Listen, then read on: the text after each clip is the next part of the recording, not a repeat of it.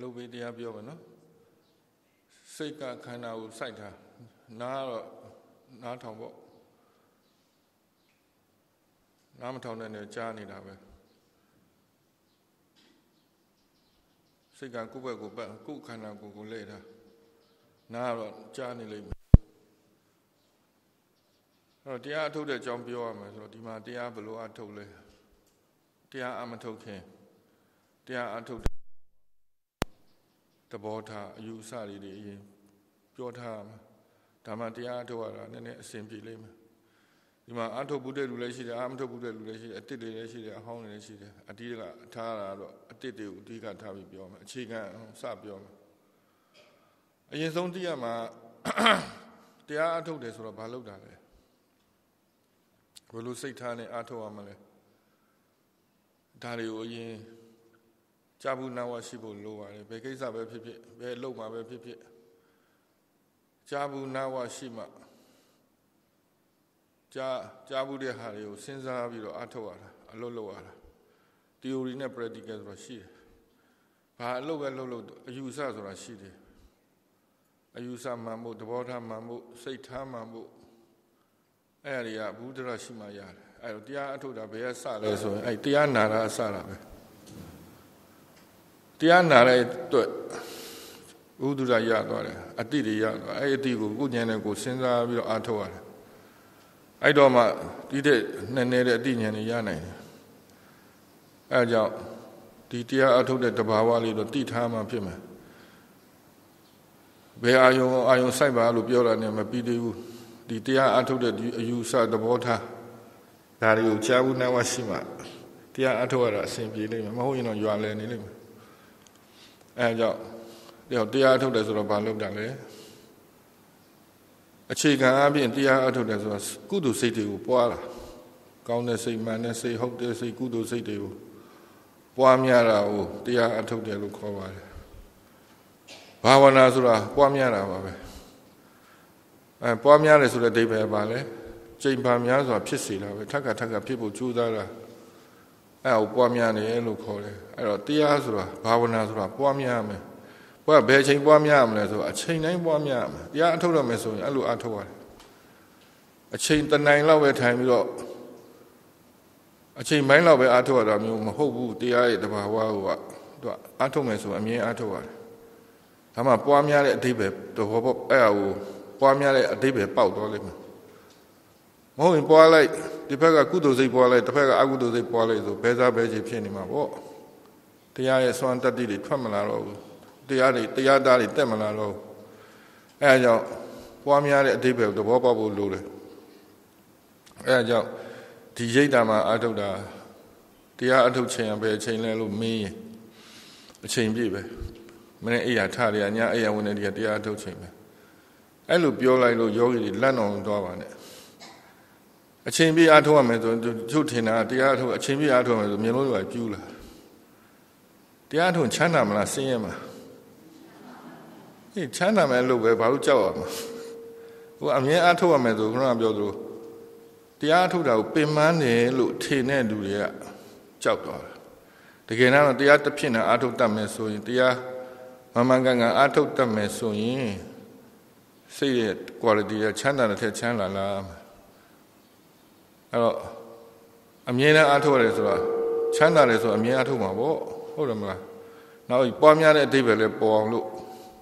တရားအထုတ်ချိန်ကဒီမှာတိုင်နေဘက်ကတော့ထိုင်ချိန်၆ချိန်စားချိန်လို့ခွဲထားတယ်ဒါပေမဲ့တကယ်တရားအထုတ်ချိန်ကတော့အချိန်ပြည့်ပဲမနေ့အိယာထားတယ်ညအိယာဝင်တည်းတရားအထုတ်ချိန်ကြီးပဲတရားထိုင်တာကိုထိုင်တာကိုတရားအထုတ်တယ်လို့မပြောဘူး ထိုင်ပြီးတော့မှငိုက်နေတဲ့တွေးခြင်းကတွေးနေတရားထုတ်တယ်ခေါ်မလားဟုတ်တယ်နော်တရားအထုတ်တယ်ဆိုစိတ်ကတရားစိတ်တွေဟောအထုတ်နေမှပွားများနေမှအဲတရားထုတ်တယ်ဆိုတာစိတ်အလုပ်ပဲဒီခန္ဓာကိုယ်အလုပ်မဟုတ်ဘူးထိုင်နေမှမဟုတ်ဘူးရက်နေလဲအထုတ်နေရမှာပဲထိုင်နေလဲအထုတ်နေရမှာပဲစားနေရင်လဲအထုတ်နေရမှာပဲဝေယဝဆလုံနေရင်လဲအထုတ်နေရမှာပဲဘာပဲလုံနေလုံနေ အဲတရားစိတ်နဲ့နေတာကိုတရားအထုတ်နေတယ်ခေါ်တယ်တတိပဋ္ဌာန်ဆိုတော့ပို့ပြီးတော့အာအချိန်ပြည့်လောက်ပါတယ်အော်တတိပဋ္ဌာန်ပွားရတော့တတိဥဆောင်တဲ့ဒီဘုံ၅ပါးတတတိတမာရီဝရိယတထာပညာဆိုတဲ့ကုသိုလ်စေတသိက်တွေကိုပွားများတာပါပဲအဲ့တော့မနေ့အရာထရရဲ့ကိုယ်အခမ်းမှာကိုနိုးလာတဲ့စပြီးအားထုတ်ရလိမ့်မယ်အဲ့တော့ဒီတရားအားထုတ်တဲ့အခြေခံသဘောတရားလေးတွေသိထားမှ တရားထုတ်ရတော့အဆင်ပြေလိမ့်မယ်အကျိုးရှိလိမ့်မယ်ရက်လေးနည်းနည်းရတာပေါ့နော်ဟိုရတဲ့လောက်လေးမှာအကျိုးရှိရှိလေးဖြစ်သွားစေချင်လို့ပါအဲ့တော့တရားထုတ်တယ်ဆိုတာကုသိုလ်စိတ်တွေကိုပွားတာလို့အခြေခံအပြင်သိပြီအဲ့တော့တရားထုတ်တဲ့နေရာမှာအာယုံပိုင်းနဲ့စိတ်ပိုင်းဆိုတာနှမျိုးရှိတယ်အဲ့အောင်လည်းသဘောပေါက်ထားမယ်အာယုံနဲ့စိတ်နှမျိုးရှိတယ် လူတိုင်းမှာအာယုံ6ပါးဆိုတာရှိတယ်မျက်စိစအစင်အတန်အနံ့အရတာအထီးတွေ့နောက်စိတ်မဟုရာသူအာယုံ6ပါးရှိတယ်အာယုံဆိုတော့အတိခံတဲ့သဘောအာယုံလို့ပြောတာမျက်စိမှာအစင်းဆိုတာရှိတယ်နားမှာအတန်ဆိုတာရှိတယ်နှာခေါင်းမှာအနံ့ဆိုတာရှိတယ်ရှာမှာဆိုအရတာဆိုတဲ့အရတာရှိတယ်နောက်ခန္ဓာကိုယ်တစ်ခုလုံးမှာဖောတပါယုံဆိုတဲ့အာယုံရှိတယ်နောက်စိတ် အမှုရာတွေရှိတယ်ဒါတွေကတိလို့ရတယ်အတိခံတဲ့သဘောအာယုံလို့ခေါ်တာဒီအာယုံပိုင်းကတော့အာယုံကိုစိတ်ကတတိထားရတာတော့တရားထုတ်တာအာယုံအလုပ်မဟုတ်ဘူးစိတ်အလုပ်စိတ်ဘက်ကပွားမှာစိတ်မှာတတိဖြစ်အောင်တမာတိဖြစ်အောင်ဝိရိယဆိုင်ရတယ်တရားတရားရှိရတယ်ဉာဏ်ပါရတယ် ဒီစေတသိက်တွေကိုအားကောင်းအောင်ပွားများတော့တရားအထုတ်တယ်ခေါ်ပါတယ်တော့အာယုံဘက်နဲ့စိတ်ဘက်ဆိုတော့ရှိတယ်အာယုံကတော့သိအားထုတ်စရာမလိုဘူးသူကလူရှိပြီးသားပဲမျက်စိမှာဆိုတော့အစင်းရှိပြီးသားပဲနားမှာဆိုတော့အတန်အမြဲတမ်းကြားနေတာပဲနှာခေါင်းဆိုတော့အနံ့လာထိနေအနံ့နှာခေါင်းမှာဖြစ်နေတာပဲစားတဲ့အခါကျရင်အရသာရှာမှာပေါ်နေတာပဲတကူလုံးမှာလည်းပူရာဣရာမာရာပြောတာဆိုတော့ရုပ်ဓာတ်ကြီးလေးပါတော့လည်းဟောတပယုံနေနဲ့သိလို့ရပါတယ် နောက်စိတ်မူရာဆိုတာရှိတယ်အဲ့တော့ဒီအာယုံ6ပါးကိုအကြောင်းပြုပြီးတော့စိတ်မှာတတိတမာတိဉာဏ်ဝိရိယတရားတရားတွေဖြစ်အောင်နေတာကိုတရားအထုတ်တယ်ခေါ်တာပါအဲ့စိတ်ဘက်ကပွားရလိမ့်မယ်အဲ့တော့ပွားတယ်ဆိုတာခုနပြောပြီးပြီအချိန်ပြည့်ပွားရမှာမနေ့အရာထားရညအရာဝင်တဲ့ထီရတရားအထုတ်ချိန်ကြီးပဲတတိပဋ္ဌာန်ပွားတယ်ဆိုတော့တတိလက်လွတ်နေဖို့အချိန်မပေးထားတော့အဲ့ တော့ယောဂီကကိုကိုကိုနဲ့ကိုစိတ်ကိုအမြဲတမ်းတတိကတ်ထားဖို့အရေးကြီးတယ်ဒါမှပွားများတဲ့တဘာဝပေါ်လာလိမ့်မယ်အဲစိတ်ရဲ့တဘာဝတစ်ခုကလည်းဘယ်လိုလဲဆိုတော့သူ့ကိုဖြစ်ခွင့်များများပေးရင်ကုသိုလ်စိတ်ပဲဖြစ်ဖြစ်အကုသိုလ်စိတ်ပဲဖြစ်ဖြစ်အဲ့စိတ်တွေကိုဖြစ်ခွင့်များများပေးရင်သူကတတ္တိရအားကောင်းလာတာဒါတဘာဝပဲဒါစိတ်ရဲ့နိယမတစ်ခုပဲဒေါသကြီးတယ်ဆိုတဲ့လူကလည်းကားကြီးတာမဟုတ်သူဒေါသခဏခဏဖြစ်လို့ သူလွတ်လွတ်ပေးတယ်ဒေါသကိုခဏခဏပွားတဲ့အတွက်ဒေါသကတဖြည်းဖြည်းကြီးလာနောက်ဆုံးနည်းနည်းလေးနဲ့ပေါက်ကွဲနေရောဒါဘာပြလဲဆိုတော့ဖြစ်ခွင့်များများပေးရင်တတ္တိဆိုတာရှိတယ်ကုသိုလ်မှာလည်းကုသိုလ်စိတ်တွေတတ္တိရှိတယ်အကုသိုလ်စိတ်တွေသူသူတတ္တိနဲ့သူရှိတယ်အဲ့တော့တရားတတ္တိတွေအားကောင်းလာဖို့ဆိုတော့အဲ့လိုဖြစ်ခွင့်များများပေးမှသူ့ရဲ့တတ္တိတွေကအားတက်လာအဲ့တော့အားထုတ်ခြင်းအားထုတ်တာဘယ်လိုလဲဆိုတော့အားအများကြီးထုတ်ရတာမဟုတ်ဘူး ကြာကြာရေရှည်ဖြစ်ခွင့်ပေးဖို့ပဲလိုတယ်အားအများကြီးထုတ်เสียမလို့အဲ့တော့ကိုပင်မစိတ်ပင်မဖြစ်အောင်အားမထုတ်ပါနဲ့ဒီမှာအဓိကယောဂီတွေကိုတတိပေးချင်တာဒီအားစိုက်တာကိုပြောချင်တာဒီရိတ်တာမှာစိုက်မရှိဘူးထိတ်မရှိဘူးလှုပ်မရှိဘူးချုပ်မရှိဘူးတဲ့ဒါဆွေးမင်းဆရာတော်ပြတင်ပေးခဲ့တာအဲ့တော့ဘာစိတ်နဲ့အားထုတ်မလဲဆိုတော့ဒါစိတ်ပိုင်းအောင်ပြောရတော့အဲ့တော့တတိပဒနာတုံးမှာခုနကတော့ကာယ ानु ပဒနာဝေဒနာ ानु ပဒနာစိတ်တ ानु ပဒနာဓမ္မ ानु ပဒနာဆိုတာ နုပဒနာ၄မျိုးပြထားတယ်ဒါတွေကအာယုံပိုင်းရုပ်ကိုရှုရုပ်စိတ်ကာယနုပဒနာခန္ဓာကိုယ်ရှုရင်ကာယနုပဒနာခံစားမှုတွေလိုက်ရှုရင်တော့ဝေဒနာနုပဒနာစိတ်ကိုရှုရင်တော့စိတ်ဓာနုပဒနာဒါအာယုံဘက်ကိုပြောတာဒါမှမဟုတ်လူတွေမေ့နေတာစိတ်ဘက်ကိုမေ့နေတယ်မြတ်စွာဘုရားတော့ပြောခဲ့ပါတယ်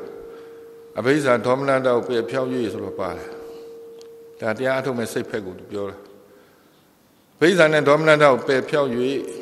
ရုပ်ကိုရုပ်လို့ရှုတယ်ဝေဒနာဝေဒနာလို့ရှုတယ်စိတ်ကိုစိတ်လို့ရှုတယ်အဲရုပ်စိတ်ပိုင်းကဘယ်လိုရှုရမလဲဆိုတော့ပြောတာပဲအဲ့တော့လောဘတကြီးအားထုတ်လို့မရဘူးတရားထုတ်တဲ့နေရာမှာလောဘပါလို့မရဘူးဒေါသပါလို့မရဘူးအဲ့ဒါကိုမတိလို့ရှိရင်ယောဂီတော်တော်များများအားထုတ်ရင်အားအများကြီးစိုက်ကြတယ်ဘာလို့အားရအများကြီးစိုက်လဲဆိုတော့လိုချင်တယ်ဖြစ်ချင်တယ်ရချင်တယ်ကောင်းချင်တယ် ဘာပဲလှုပ်လို့လူရဲ့စိတ်ကအကျင့်ပါလား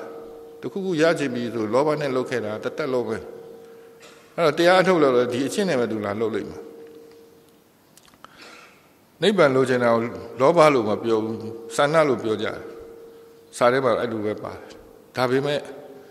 တကယ်တမ်းလုံနေတဲ့လူတွေအာထုတ်နေတဲ့လူတွေမှာတော်တော်များများလောဘတကြီးအာထုတ်နေတာတွေ့ရတယ်အဲအကြောင်းပင်ပန်းဆင်းရဲတယ် ကြားဖို့မှာတရားအထုတ်လို့ဘာဖြစ်သွားလဲညာဖြစ်သွားလဲဆိုအဲတရားတစ်ဖြစ်မလုပ်လို့ပဲမတရားအထုတ်လို့ဖြစ်တာလောဘတကြီးအထုတ်တဲ့ခါကျရင်အဲအကျိုးပေးမကောင်းအဲအကြောင်းခုနတရားအထုတ်တော့မယ်ဆိုရင်ဒါလေးတော့တိထားဖို့လိုတယ်ဘာစိတ်နဲ့အထုတ်ရမလဲကုသိုလ်စိတ်နဲ့အထုတ်တတ်ဖို့လိုတယ်တရားထုတ်တာပဲဆိုပြီးကောင်းတယ်ဆိုပြီးစွတ်လုပ်လို့မရဘူးနော်အဲ့ဒါလေးအရင်သဘောပေါက်မယ်ယောဂီတွေဒါကြောင့်အားစိုက်တာလေးနည်းနည်းလျှော့ပါဘာဖြစ်လို့အားလေးဒီလောက်စိုက်နေလဲဆိုတော့ လိုချင်အားအများကြီးစိုက်တယ်လိုချင်လို့မရရင်မချေမနှက်ဖြစ်လာပြီဆိုလဲအားလေးအများကြီးစိုက်တယ်ဒါဒေါသနဲ့အားထုတ်ပြီမချေမနှက်အားမရလို့အားထုတ်တယ်ဆိုဒေါသနဲ့အားထုတ်ပြီနောက်ထင်တယ်လို့ရှောက်လို့တာမောဟနဲ့အားထုတ်တယ်ခေါ်တယ်တရားအထုတ်တဲ့တဘာဝကိုကောင်းကောင်းမသိဘူးဆိုသူဘာလုပ်မှာရမ်းပြီးလုပ်တော့မှာပေါ့အော်ထိန်တယ်လေးရှောက်လုပ်နေရမ်းပြီးလုပ်ရင်မောဟနဲ့အထုတ်တယ်ခေါ်ရဲ့ အဲ့တော့မောဟနဲ့အထုတ်တော့သူအားရအများကြီးသုံးမယ်လိုတာတဲ့ပို့ပြီးသုံးရင်ဒါပို့သွားတာပဲတရားဆိုတာမြတ်တတ်မှတရားဖြစ်တယ်ပို့ရင်လည်းတရားမဟုတ်ဘူးလိုရင်လည်းတရားမဟုတ်ဘူးအဲ့တော့မြတ်မြတ်တတ်တတ်အထုတ်တတ်ဖို့ခုနကဒါလေးတွေအရင်တိထားမှဖြစ်မယ်အဲ့တော့တရားအထုတ်တာတိတ်အားဆိုင်เสียမလို့ဒီမှာလောက်ရမှာလဲတနေကုန်ဆိုတော့တိတ်အားဆိုင်လို့ရှိရင်လူပင်မစိတ်ပင်မဖြစ်တယ်ညနေလောက်ဆိုအားကုန်သွားပြီဆိုအဲ့ပြန်ကျဲပြီးစုလို့တော့မရတော့ တကယ်အားထုတ်တဲ့လူတွေရှိပါတယ်တနေကုန်အားထုတ်ပါတယ်တအားအများကြီးထုတ်တော့ရှိတဲ့အားတွေကုန်ထုတ်သုံးတော့တနေကုန်လှုပ်တဲ့အခါကျတော့ညနေဆိုတော့အားပြတ်သွားတယ်အားမရှိတော့စိတ်အားလဲစိတ်မှလည်းအားရှိတာပဲစိတ်အားတွေပြတ်သွားပြီဆိုရင်စုစည်းလို့ကိုမရအောင်ပြန်ကျဲနေအားကိုမရှိတော့အားကုန်တော့လားလူဓာတ်တဲ့ပို့သုံးရင်ကုန်သွားတယ်တရားရဲ့တဘာဝကဒီလိုရှိတယ်သူကမန်မှန်လေးသုံးမယ်ဆိုရင်တဖြည်းဖြည်းနဲ့အားကောင်းလာအဲ့သဘောတရားတခုရှိတယ်အဲ့အလေးနဲ့သဘောပေါက်ဖို့လိုတယ် မန်မှန်လေးလိုတလောက်လေးပဲသုံးမန်မှန်သုံးကြာကြာလို့ပွားအဲ့လိုဆိုရင်တတ္တိယတဖြည်းဖြည်းနဲ့တက်လာလိမ့်မယ်မနေ့ကစပြီးတတိကမယ်ဆိုရင်အဲနေကင်းညနေလောက်ဆိုတဖြည်းဖြည်းစိတ်တွေအားပြေလာပြီးတော့အဲအများကြီးအားဆိုင်စရာမလိုဘူးအခုလူတွေကထိုင်ပြီးဆိုတာနဲ့ထိုင်တဲ့ချိန်မဲ့သူကထိုင်အထုတ်တာဟုတ်ထိုင်ပြီးသူက short ပလိုက်တယ်အဲ့လိုလုပ်တဲ့အတွက်သူကခဏခဏအာရုံပြန်ဆက်ရတယ် ဒါကြောင့်မလို့ခုနကပြောတရားအထုတ်တာထိုင်ချိန်တစ်ခုတည်းမဟုတ်ဘူးတရားထိုင်ပြီးထသွားလဲဆက်ပြီးအထုတ်ရလိမ့်မယ်တရားထိုင်တာမဟုတ်ဘူးတရားအထုတ်မှာဟုတ်ပြီနော်ဟုတ်လူတော်တော်များများသိတာကတရားအထုတ်မယ်လို့ပြောလိုက်ရင်ထိုင်တာကိုပဲတန်နေကြတယ်ဒီတတိပဋ္ဌာန်တရားအထုတ်တယ်ဆိုတော့အိဒီယပုတ်နဲ့အဓိကမကြောက်ဘူးထိုင်တာအတိတ်အရေးမကြီးဘူးထိုင်မှအထုတ်လို့ရတာမဟုတ်ဘူးလမ်းလျှောက်လည်းအထုတ်လို့ရတယ်ရပ်နေလည်းအထုတ်ရတယ်လဲနေလည်းအထုတ်ရတယ်စားနေလည်းအထုတ်လို့ရတယ် ဒီသဘောတရားတွေကိုသဘောပေါက်ထားမှအမြဲအချိန်ပြည့်အမြဲတမ်းတတိနဲ့နေတယ်ဆိုတဲ့တဘာဝလေးပါတော့စေခြင်းလို့ပါအချိန်ပြည့်တတိနဲ့နေတယ်ဒါလေးမှတ်ထားပါအမြဲတမ်းတတိနဲ့နေမယ်လို့နှလုံးသွင်းထားပါတရားစကားလာတယ်ဆိုတော့တရားနာဖို့တရားအထုတ်ဖို့ဒါပဲရှိတာပဲဒီအလုပ်မလုပ်ရင်ဘာလုပ်လုပ်မလဲဆိုမတရားလုပ်လုပ်လို့ရမယ်တရားတစ်ဖြစ်တာမလုပ်ဘူးဆိုရင်မတရားတာနေလုပ်လိုက်မယ် ဘာကြောင့်လဲဆိုတော့တတိလက်လွတ်ဖြစ်သွားတာနဲ့မောဟကဝင်ပြီးမောဟဝင်ပြီးဆိုလောဘဒေါသတွေကပ်ပါလာမယ်အဲ့တော့တရားအမထုတ်ရင်မတရားအထုတ်ပါတယ်အ ਨੇ ဆုံးမောဟနဲ့နေပါတယ်တော့ဒီတဘာဝရှိတယ်ဒါကြောင့်မလို့ဒီတတိပဋ္ဌာန်အကြောင်းတတိပဋ္ဌာန်ရဲ့တရားတဘာဝကိုသိထားဖို့လိုပါတယ်တတိပဋ္ဌာန်တတိပဋ္ဌာန်တရားအထုတ်မယ်ဆိုရင်အချိန်ပြည့်အထုတ်ပါတတ်နိုင်တယ်လို့လွတ်လွတ်တဲ့ခါလဲလွတ်မယ်ကိစ္စမရှိဘူး ပြန်ပြန်တဲ့ပါပြန်ပြန်ကပ်ပါတတိပြန်ပြန်ထားပါစိတ်ရှည်ရှည်နဲ့ဇွဲရှိရှိနဲ့အထုတ်ရတာအရန်ဆက်ရတာမျိုးမဟုတ်ပါဘူးအဲ့တော့ကိုယ်ပင်မစိတ်ပင်မဖြစ်အောင်ခေါင်းကိုက်လောက်အောင်စကြောတက်လောက်အောင်အထုတ်ရတာမျိုးမဟုတ်ပါဘူးအဲ့တော့ကိုအားထုတ်တာလေးကိုပြန်ကြည့်ကြည့်ပါအခုကိုထိုင်နေတာကိုသိလို့မရဘူးလားရတယ်နော်ထိနေမှသိလို့မရဘူးလားရပါတယ်အခုကြားနေတာကိုသိလို့မရဘူးလား ဘယ်လောက်အားဆက်ရလဲအဲ့လိုသိဖို့ဘယ်လောက်အားဆက်ရလဲသိမဆက်ရပါဘူးကိုယ်ကိုတတိလေးထားလိုက်တာနဲ့ဥကြားမှသိလားဆိုရင်တတိဝင်လာပြီအခုတန်ကြားနေတာမသိဘူးလားအဲ့ပင်မလားအားဆက်ရလားတရားဒီလိုပါအကုံအောင်သုံးစရာမလိုပါဘူးဟုတ်ပြီနော်အဲ့တော့တိနေတော့ပြီကိုယ်ခန္ဓာကိုယ် မှာဖြစ်နေတဲ့တဘာဝတစ်ခုခုတတိထားမိနေတယ်ကြာကြာဆက်တိုက်တိနေပြီဆိုရပြီထိုင်နေထိုင်နေမှတိတယ်ရှောက်နေရှောက်နေမှတိတယ်ရက်နေရက်နေမှတိတယ်ဆိုတဲ့တတိရှိပါတယ်အဲ့တော့တတိဆိုတာဘာလဲလို့ပြောရင်လောလောနဲ့တိအောင်ပြောရင်တော့ခုနပြောတဲ့ဓွာရ6ပေါက်မှာဖြစ်တဲ့အာယုံ6ပါးကိုသိရင်တတိရှိတယ်ခေါ်ပါတယ်ဥပမာမြင်မြင်မှန်းသိတယ်ပေါ့ကြားရင်ကြားမှန်းသိနေတယ် နတ်နိုင်ရင်လည်းနာမှန်းသိတယ်အရာရာဖြစ်ချိုးတယ်ချိုးရင်မှန်းသိတယ်ချင်းချင်းမှန်းသိတယ်ခိုင်ငံငံမှန်းသိတယ်နောက်ပူမှန်းသိတယ်အေးမှန်းသိတယ်ခန္ဓာကိုယ်မှာဆိုရင်မာနာပြော့တာတွေသိတယ်ဖောင်းနာပိန်နာတွေဝေလေဝင်နေဖက်တွေသိတယ်ဆိုတော့ဒါတတိရှိတယ်ခေါ်တယ်ဒီအာယုံ6ပါးကိုသိလို့ရှိရင်စိတ်ခံစားမှုကိုသိတယ်စိတ်အတွေးတွေကိုသိတယ်ဆိုရင်ဒါတတိရှိတယ်ခေါ်တယ်ဟုတ်ပြီနော်တတိကဘလောက်မှမခက်ဘူး တတိထားတာမခက်ပါဘူးဘာခက်လဲဆိုတော့အဲ့ကြာကြာတတိထားတာခက်လိမ့်မယ်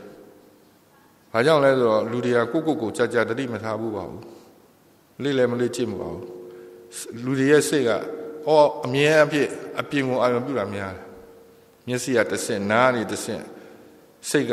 အပြင်ကိုအာရုံပြုတာများတယ်ပညာကိုအာရုံပြုတာများတယ်ဒါအကျင့်ဖြစ်နေပြီဒီခန္ဓာပဲလဲပြီးတော့ခုနအာယုံတွေကိုသိဖို့ဆိုတာလေးမှမလေးကျင့်တာပဲ အဲ့တော့အကျင့်မရှိဘူးအကျင့်မရှိတဲ့အတွက်ခဏခဏလွတ်လိမ့်မယ်ကိစ္စမရှိပါဘူးလွတ်တာအရေးမကြီးပါဘူးပြန်ထားပါစိတ်ရှိရှိနဲ့ပြန်ထားပြန်ထားတရက်နှစ်ရက်သုံးရက်လေးရက်လောက်ကြာရင်တတိကတ်လာပါလိမ့်မယ်တွားလည်းတိလာမယ်ထိုင်လည်းတိလာမယ်စားလည်းတိလာမယ်လိုင်းလျှောက်လည်းတိလာမယ်အတပြေးပြေးနဲ့အတိရကိုယ်မှာကတ်ကတ်လာလိမ့်မယ်အဲ့တော့အရေးကြီးတာကိုပြောချင်တာကစိတ်ထားသဘောထားတွေအရေးကြီးတယ် လောဘနဲ့အာမထုတ်ပါနဲ့အဲအားဆိုင်တယ်အားဆိုင်တာကိုပဲတတိထားရင်ရပါပြီစိတ်ကိုလျှော့ချတယ်စိတ်လျှော့ထားတယ်ဆိုတော့ဝိရိယကိုလျှော့ခိုင်းတာမဟုတ်ဘူးလောဘကိုလျှော့ခိုင်းတာလျှော့ချလိုက်စိတ်အေးသွားပြီဆိုပို့ပြီးတိလို့လွယ်တယ်စိတ်ကြီးကတင်းနေတယ်ဆိုရင်တော့ချမ်းတဲ့အာယုံလည်းပဲတိတိမ်မွေ့တဲ့အာယုံတိလို့မရဘူးတချို့တွေဝင်နေထွက်နေလို့မတိဘူးတချို့တွေဖောင်းတာပိန်တော့တိလို့မရဘူးဘာလို့လဲဆိုတော့သူတို့စိတ်တွေကကြမ်းနေလို့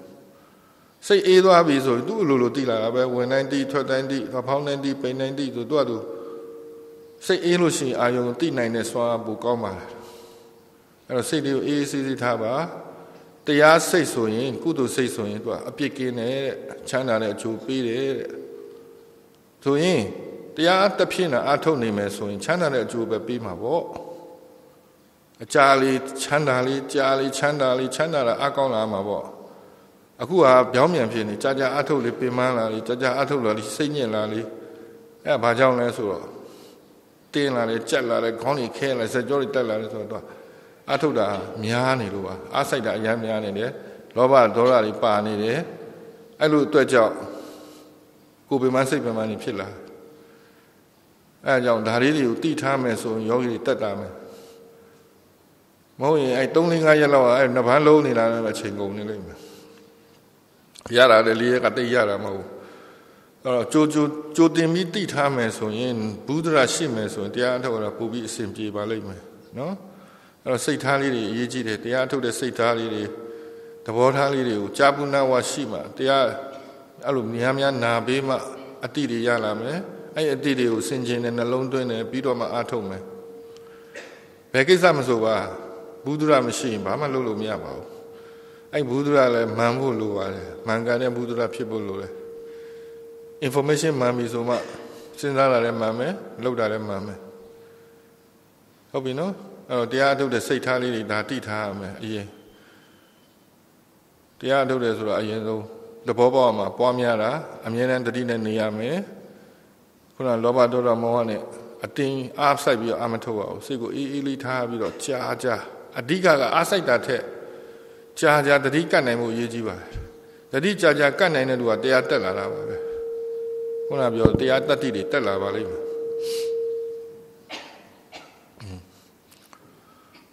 နောက်တစ်ခုအရေးကြီးတာဘာလဲဆိုတော့သဘောထားတရားဝိပဿနာတရားအထုတ်တော့မယ်ဆိုရင်ဒီအယူဆလေးတော့ပြင်ထားမှရဘာလဲဆိုတော့ဒိဋ္ဌိပါပဲဒီဒိဋ္ဌိကိုဉာဏ်လေးနဲ့ဖယ်ထားမှရမ ဟုတ်ရင်ဒီခန္ဓာကိုယ်ကြီးကိုရှုနေတာငါကိုငါစိတ်တို့တဲ့အယူဆကြီးနဲ့ရှုနေမယ်ဆိုရင်ဘာတရားမှလာမှာမဟုတ်ပါဘူးအဲ့တော့ဒီခန္ဓာကိုယ်ရုပ်တရားနံတရားတွေကိုဘယ်လိုနှလုံးသွင်းရမလဲဆိုတာရှိတယ်ပုဂ္ဂိုလ်တ attva အနေနဲ့နှလုံးမသွင်းပါနဲ့တော့ငါငါဟာလို့နှလုံးမသွင်းပါတော့ဘူးဒီရုပ်ကိုရုပ်လို့ရှုတယ်စိတ်ကိုစိတ်လို့ရှုတယ်တဘာဝတရားတစ်ခုအနေနဲ့ရှုရမှာအဲ့တော့ခန္ဓာကိုယ်မှာဖြစ်တာမှများလူကစဉ်းစားတာငါနာတယ် ငါခံစားရတယ်ငါပူတယ်ငါအိုက်တယ်လို့ပြောကြတာဟုတ်အဲ့တော့အဲ့စိတ်ကလူတိုင်းမှာအားကြီးတယ်အဲ့ကြောင့်တတိထားတယ်ဒီခန္ဓာကိုယ်ရုပ်တတိထားနေငါခန္ဓာကိုယ်တတိထားတယ်ငါစိတ်ငါနဲ့ငါဆိုတဲ့အစွဲကြီးနဲ့တတိထားနေမယ်ဆိုရင်ဉာဏ်မဖြစ်တဲ့အပြင်ကိလေသာပိုတိုးလာတတ်တယ်ဟာငါချီတော့ဘယ်ပြောက်သွားလဲဆိုသူကြောက်သွားကြောက်တဲ့စိတ်ဝင်လာအောင်ငါနဲ့ပြတွေ့တာဟုတ် တရားအထုတ်ရင်ဒီခန္ဓာကိုယ်ကြီးပျောက်ပျောက်သွားသလိုဖြစ်တတ်တာဟုတ်အဲ့အောင်ငါနဲ့တွဲလိုက်ပြီဆိုလန့်ပြီးတော့ကြောက်သွားအဲ့ဒေါသတွေဝင်လာအောင်ဒါကြောင့်မလို့အစတည်းကဒီခန္ဓာကိုယ်ရဲ့တဘောဝကိုအယူဆမှန်အောင်စဉ်းစားထားရတယ်အဲ့တော့ခန္ဓာမှာဖြစ်သည်မြရုပ်တရားဖြစ်သည်မြစိတ်တွေဖြစ်သည်မြအားလုံးကိုဘယ်လိုစဉ်းစားရမလဲဆိုတော့တဘာဝသဘောတရားတစ်ခုအနေနဲ့စဉ်းစားရမယ်ပုဂ္ဂိုလ်တ attva အနေနဲ့မစဉ်းစားတော့ဘူးပူရာပူရာပဲအေးတာအေးတာပဲ ဒါတဘာဝတရားတစ်ခုပဲဒီလိုပဲရုပ်ကိုလည်းတဘာဝလို့စဉ်းစားတယ်လို့စိတ်ကိုလည်းတဘာဝလို့စဉ်းစားသိတာဘယ်လိုသိတာအင်းငါသိတယ်ပဲပြောကြတာဟုတ်သိတဲ့သဘောကသိတာသိတတ်တဲ့သဘောကိုစိတ်လို့ခေါ်တယ် definition ကစိတ်ကို definition ဖွင့်ထားတာသိတတ်တဲ့သဘောကိုစိတ်လို့ခေါ်တယ်နောက်တွေးတတ်တဲ့သဘောကိုစိတ်လို့ခေါ်တယ်အဲ့တော့ ဒီသဘောကိုသဘောတရားလို့ပဲအာယုံပြုနိုင်ရင်အဲ့ဒါငါနဲ့မဆိုင်တော့ဘူးဟုတ်ပြီနော်အခုကစိတ်ကိုကြတော့စိတ်ကိုပူဆွဲတာတိတော့လဲငါတိတယ်ခံစားတော့လဲငါခံစားရတယ်အိမ်မှာခဏခဏပြောပါတယ်ငါခံစားနေရတယ်ဟုတ်စိတ်ညစ်တော့ဘယ်လိုညစ်လဲငါစိတ်ညစ်တယ်ပြောတာဟုတ်စိတ်ညစ်တာလဲငါပဲစိတ်ချမ်းသာလဲငါ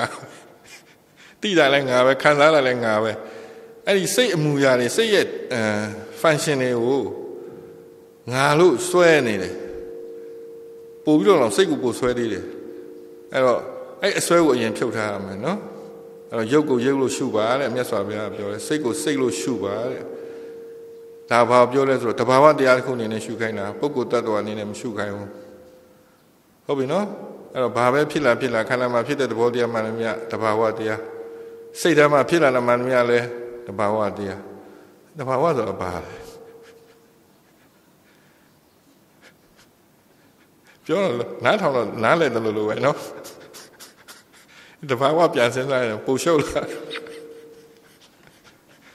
တဘာဝဆိုတာသူ့အကြောင်းနဲ့သူ့အကျိုးနဲ့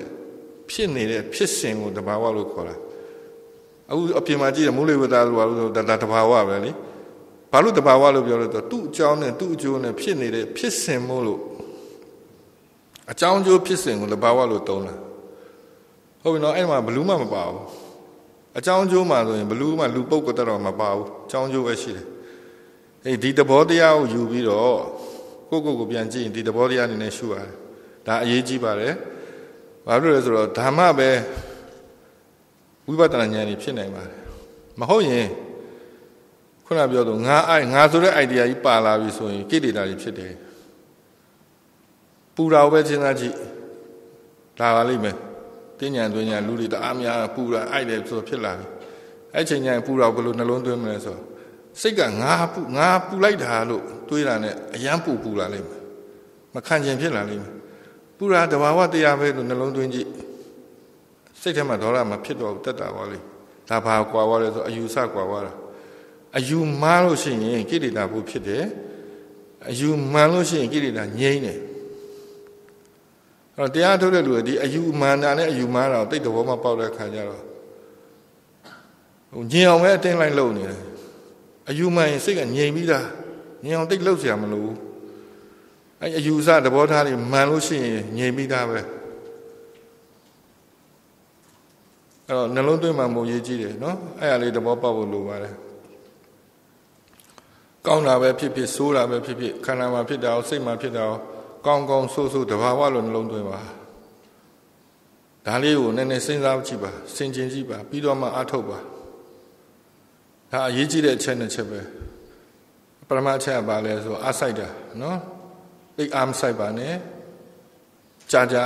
မမှန်လေးနဲ့ကြာကြာတတိလေးထိန်းထားဖို့ပါပဲအားကုန်တုံးဆရာမလို့ဘူးဟိုဥပမာပေးရရင်မာရသွန်ပြေးတယ်လို့ပြေးတာ ဟုတ်မာရသွန်ပြေးတယ်လို့ပြေးရမှာရေရှည်ပြေးရမှာဖြည်းဖြည်းမှန်မှန်ပဲပြေးရတယ်ဟိုမိသားတရားပြေးတယ်လို့မျိုးမပြေးရဘူးအတကွန်ပြေးရဆိုမိသားတရားလည်းရအောင်သူမောက်နေမှာဟုတ်ပြီနော်အဲ့တော့ရေရှည်နဲ့မှန်မှန်လေးကြာကြာလုပ်ပါတိတ်အားဆိုင်စရာမလိုဘူးအမြဲတမ်းတတိနဲ့နေပါဒါလေးတွေရေးကြည့်ပါတယ်နောက်ခုနသဘောထားကိုဒီရုပ်နဲ့ဒီစိတ်ကိုရှုတဲ့အခါတိုင်းမှာသဘောတရားတစ်ခုအနေနဲ့ရှုပါ ပုဂ္ဂိုလ်တ attva ငါဟာလို့မယူပါနဲ့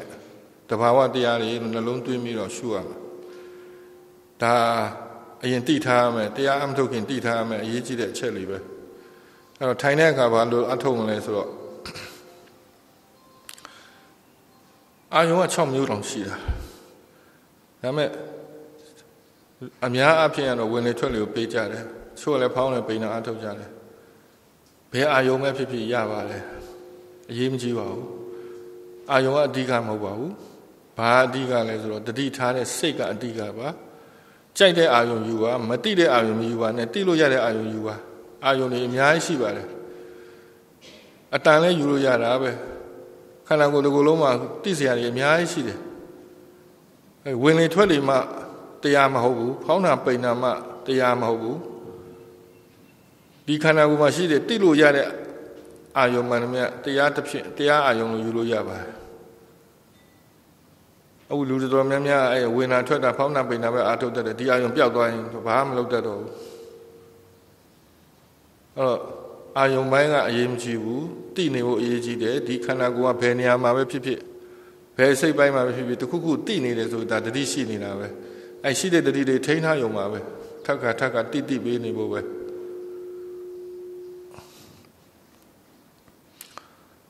နောက်တစ်ခုအရေးကြီးတာသုံးခုရှိတယ်ယောဂီတော်တော်များများပြဿနာဖြစ်တာအတွေးရယ်အတန်ရယ်နာလာကျင်တာရယ်ယောဂီတော်တော်များများတရားအထုတ်ရင်အတွေးနည်းမှကြိုက်တယ်နော်ခုနပြောပြီးပြီအတွေးနဲ့ပတ်သက်လို့အယူဆမှန်မှုလိုတယ်အတွေးနဲ့ပတ်သက်လို့သဘောထားမှန်သွားပြီဆိုရင်တော်တော်တက်တာသွားပြီမဟုတ်ရင်ဒီအတွေးနဲ့နှပန်းလုံးနေလိမ့်မယ် ခုနပြောပြီးပြီစိတ်ကို definition ဖွင့်တဲ့အခါမြတ်စွာဘုရားဘယ်လိုပြောရလဲတိတတ်တဲ့သဘောကိုစိတ်စဉ်းစားတတ်တဲ့သဘောတွေးတတ်တဲ့သဘောကိုလည်းစိတ်ညွတ်တတ်တဲ့သဘောကိုလည်းစိတ်အဲ့တော့တိတတ်တဲ့သဘောကိုစိတ်လို့ခေါ်တယ်ညွတ်အဲတွေးတတ်တဲ့သဘောကလည်းစိတ်လို့ပဲစိတ်ပဲဟိုတရားထုတ်တယ်ဆိုတာရုပ်ကြောင်းစိတ်ကြောင်းသိချင်လို့အားထုတ်တာဆိုတော့အဲ့တော့တိဖို့ကြိုးစားတယ်ဒါကိုသဘောပေါက်ရမှာ ငြိမ်မှုတိတ်အရေးမကြီးဘူးငြိမ်မှုမကြိုးစားပါနဲ့ဝိပဿနာတရားရိုးရိုးလေးရှင်းရှင်းလေးဟိုဖြစ်တာဖြစ်တဲ့အတိုင်းအတိမပြုရပဲငြိမ်နေနဲ့ငြိမ်မှန်းတိပေးရုံပဲမငြိမ်လဲမငြိမ်ပါဘူးလို့အတိမှန်ပြုပေးရုံပဲရိုးရိုးလေးမခက်ဘူးအဲငြိမ်အောင်လုပ်ချင်တော့ခက်လိမ့်မယ်အဲစိတ်ငြိမ်အောင်လုပ်နေတာမဟုတ်တိအောင်လုပ်နေတာတိဖတ်များလိုက်တော့လူစိတ်ကတတိတမာတိဉာဏ်နေတက်လာရင်ငြိမ်သွားလိမ့်မယ် အတင်းငြိမ်အောင်လုပ်နေရောငြိမ်ခြင်းနဲ့လောဘကြီးနဲ့လိုက်လုပ်နေအဲပို့ပြီးတော့မငြိမ်ဘူးပို့ပြီးရှုပ်တာပဲပို့ပြီးတင်ပင်းတင်းလာမယ်ပြင်ပန်းလာလိမ့်မယ်အဲ့တော့စိတ်ကိုနားလည်ထားဖို့လိုတယ်အဓိကကတွေးတဲ့သဘောကိုဒေါရမဖြစ်ဖို့ပဲယောဂီတော်တော်များများအတွေးကိုမကောင်းဘူးလို့တတ်မှတ်ထားတယ်အဲ့ဟာလေးပြင်လိုက်ပါအတွေးဆိုတော့စိတ်ပါပဲအဲ့တော့တွေးတိုင်းတွေးတိုင်းသိပေးပါဇလန်းကိုတော့အရေးမကြီးဘူးဒီတွေးတဲ့သဘောတရားဖြစ်လာတာကိုအတိမတ်ပြုပါ တွေးနေတွေးနေမှသိပေးပါ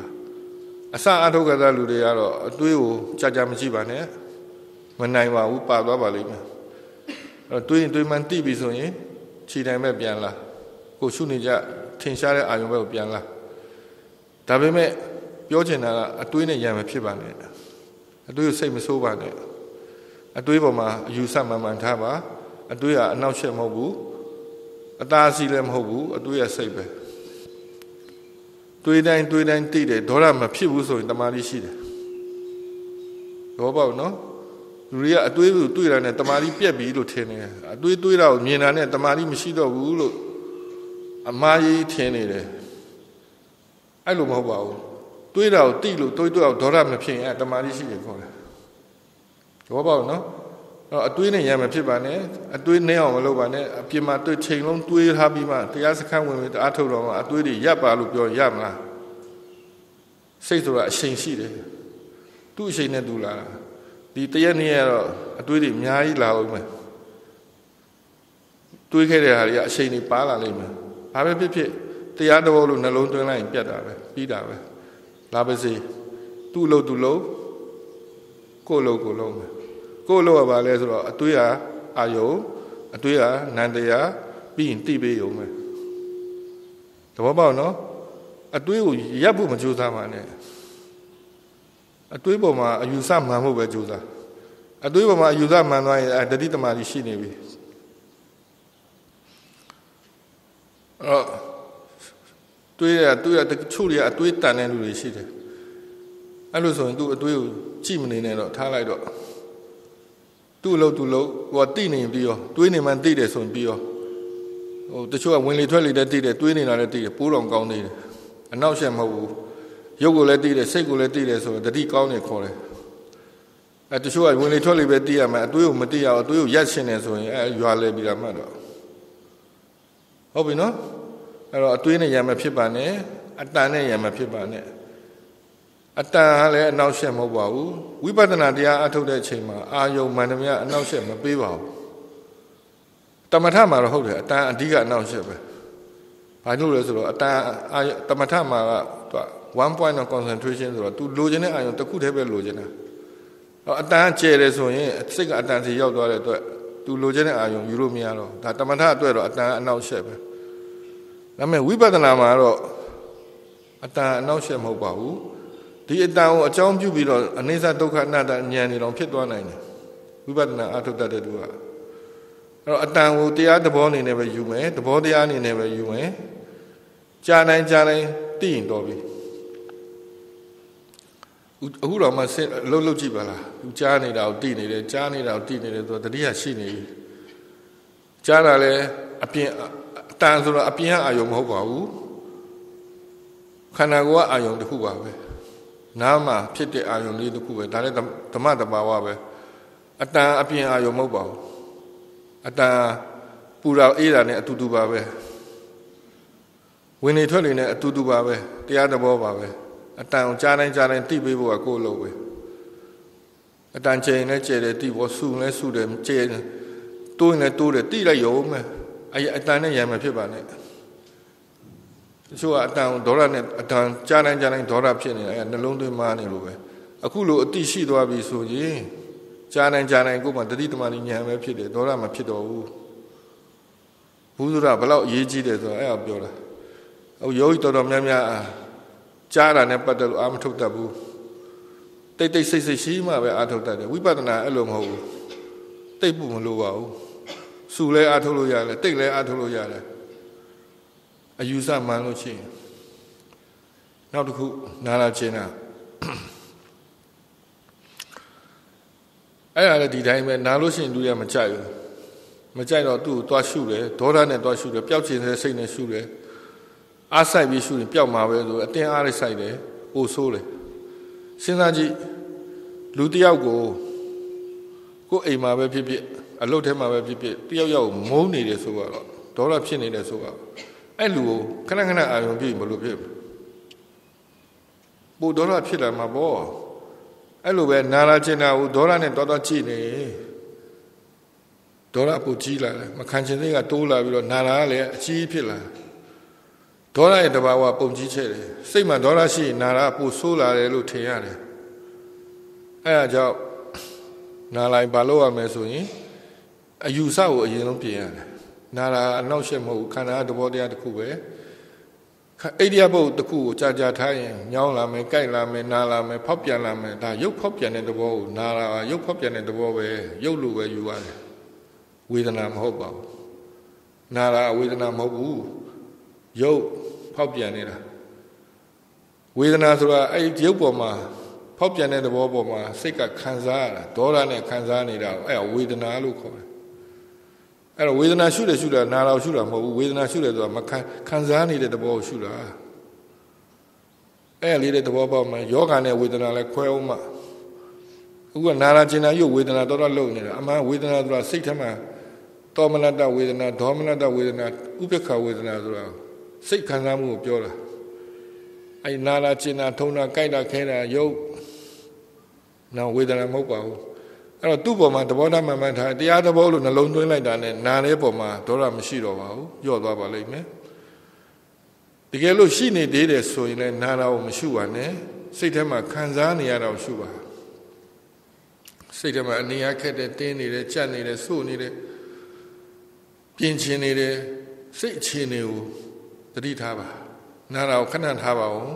သူ့ရှုဖို့အစဉ်တည်းမဖြစ်သေးပါဘူးစိတ်ကတရားစိတ်မဖြစ်သေးတဲ့အတွက် နာတော့မရှုသေးပါဘူးတကယ်လို့စိတ်ကိုရှုလို့ခံစားနေတဲ့သဘောတရားကိုရှုလို့စိတ်ကယော့သွားမယ်ဆိုရင်ခန္ဓာသွားမယ်ဆိုရင်နာတော့ပြန်ရှုခြင်းနဲ့ရှုလို့ရတယ်တကယ်လို့စိတ်ကမခံခြင်းစိတ်ကယော့မသွားဘဲနဲ့တိုးတိုးလာပြီဆိုရင်တော့ယောဂီမနိုင်သေးပါဘူးရွှေ့ပြလိုက်ပါပေတော့မလုပ်ပါနဲ့နော်ကြောက်သွားမှဆိုလို့ပါ ယောဂီတော်တော်များများအဲထွက်မှရကုန်လားအဲနာနာယုတ်ပြီးပြီးတော့မလုံမရွှက်မရွှေ့ပဲနဲ့ရှူရှူရင်းနဲ့နောက်ကြတော့တရားအထောက်မှကြောက်လာအောင်တရားအထောက်ကကြောက်တာအရင်ဓမ္မယုံကကြောက်သွားတယ်ဓမ္မယုံကကြီးမောက်ခောက်ပြီးဆိုတော့မလာရဘူးတော့တောင်းဆိုရင်ပတ်ပြေးနေအောင်မှာရေတောက်ရတာနဲ့ပြီးတော့ပေါက်ရတာလေဘာလို့လဲဆိုတော့တရားထိုင်တာကိုကြောက်သွားလို့ဘာလို့ကြောက်သွားတာလဲအမှန်တော့နာတာကိုကြောက်တာ အဲ့တော့တိတ်ပေပြီးတော့မခံပါနဲ့နာနာကျင်တာကိုလုံနိုင်တဲ့လောက်လုံပါမရရင်ရွှေ့ပါမခံနိုင်ရွှေ့ပေးပါစိတ်အေးသွားပြီဆိုရင်ကြံဆက်ပြီးအားထုတ်ပါကျွမ်းကျင်လာရင်တော့မတဘောပေါ့ကျွမ်းကျင်နေဆိုရင်တော့မရွှေ့မပြောင်းမနဲ့စိတ်ကိုလည်းရှုနာတာကိုလည်းရှုလို့ရပါတယ်အစသမားတွေအတွက်ကတော့ပေပြီးတော့မလုပ်ပါနဲ့နာနာလာကျင်တာနဲ့ပတ်သက်လို့ပြောလာတာနော်မ နေ့နောက်လေးထပ်ထပ်ပြောမှာပါပဲခဏစာအုပ်လည်းဖတ်ပါအားရင်စာအုပ်လေးပြင်မဖတ်ပါအခုအလုံးစာအုပ်လေးပေးထားတယ်အလုပ်ပေးစာအုပ်လေးပေးထားတယ်အဲ့တော့ဒီအသွေးရဲ့အတန်ရဲ့နိုင်နာလာကျင်တာနဲ့ပတ်သက်လို့သဘောထားမှန်မှန်ထားပါဘယ်လိုအထောက်မလဲဆိုတော့ပြောပြီးပြီနောက်လမ်းလျှောက်တဲ့အခါရှောက်ရင်ရှောက်မှန်းတိနေရင်တော့ရပါတယ်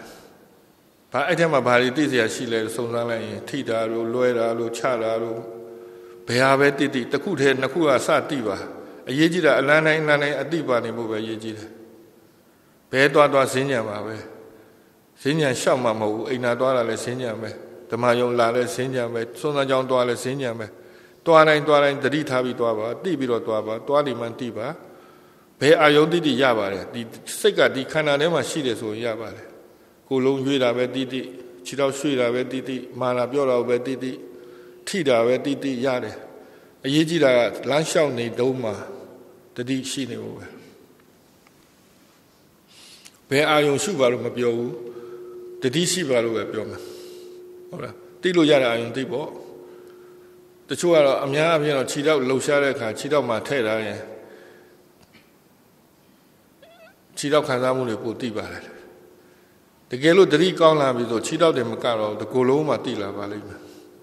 တိစရာတွေများလာပြီဆိုတာဘာကိုပြလဲဆိုတော့တတိကတ်လာပြီလို့ပြောတာပဲ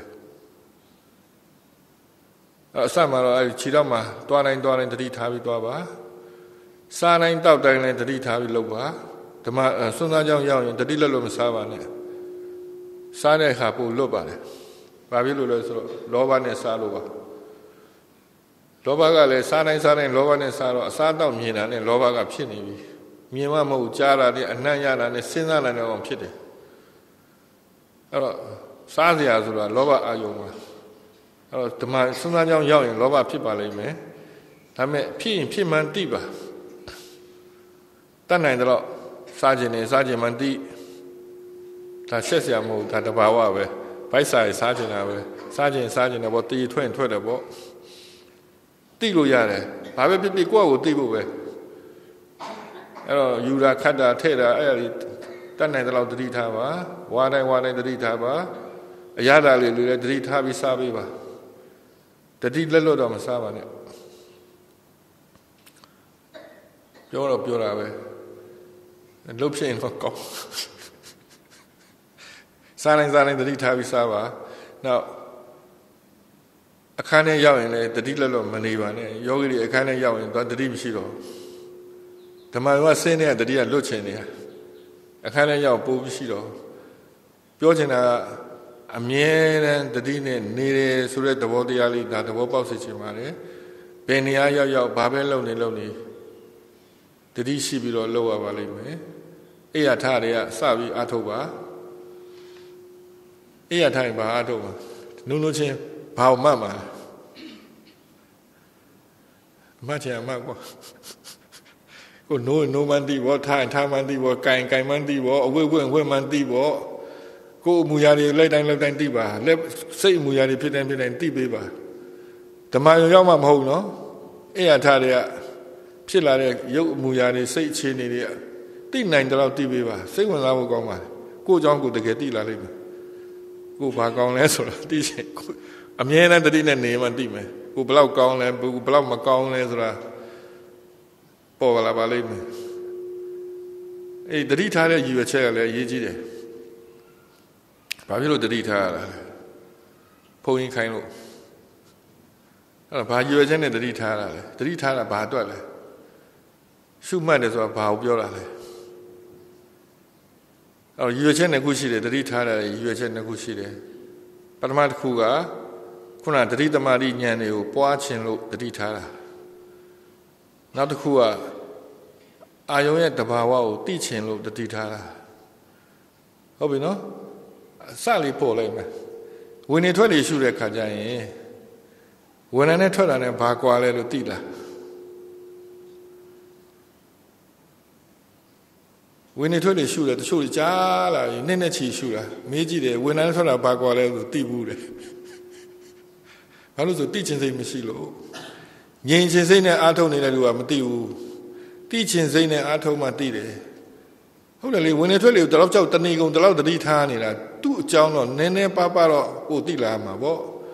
ဝင်လာဘလို့နေလဲထွက်လာဘလို့နေလဲဝင်လာထွက်လာဘာကွာလဲဘယ်ဟာရှေ့လဲဘယ်ဟာတူလဲဘယ်ဟာပြင်းလဲဘယ်ဟာပြော့လဲအဲ့လောက်တော့သိတင်တာပေါ့အဲ့သိချင်လို့တတိထားတာဒါလေးသဘောပေါက်ပါဟုတ်ပြီနော်မဟုတ်ရင်သူကစိတ်မပါဘူး သိချင်လာပြီဆိုစိတ်ဝင်စားလာစိတ်ဝင်စားလာရင်ဘယ်တော့မှမငိုက်ဘူး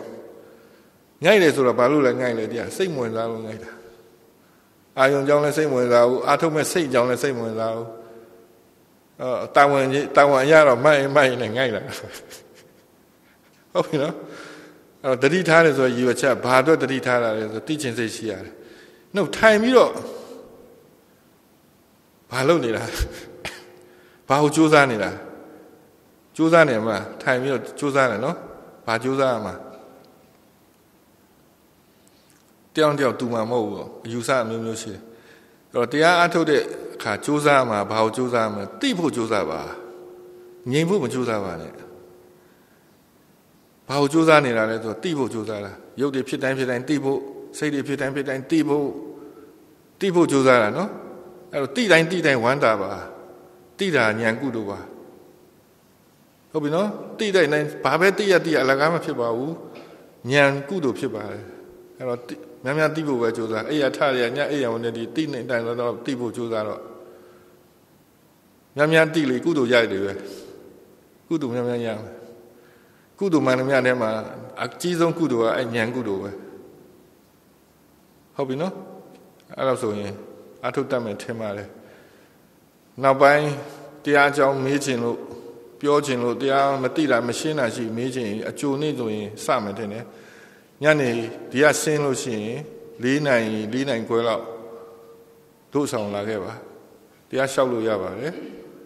တရားမေးလို့ရပါတယ်နေခင်းတနိုင်ဆိုရင်ဒီမှာတနိုင်တိုင်းဒီမှာအဲ့လိုပဲတတိပေးတာလာလာပြောပါမယ်အဲ့လိုဆိုတော့အားလုံးဆိုလို့ရပါပြီနော်တရားကိုအေးအေးချမ်းချမ်းနဲ့ အာအကျိုးရှိရှိအားထုတ်နိုင်ကြပါစေကုန်တည်း